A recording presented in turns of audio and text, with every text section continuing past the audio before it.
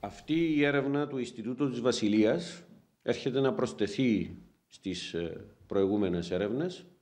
αλλά ταυτόχρονα έρχεται να υπογραμμίσει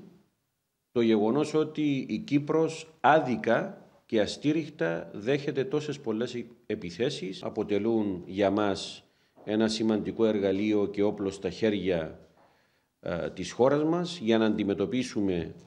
όλες αυτές τις αστήριχτες κατηγορίες που εκτοξεύονται σε βάρος της χώρας μας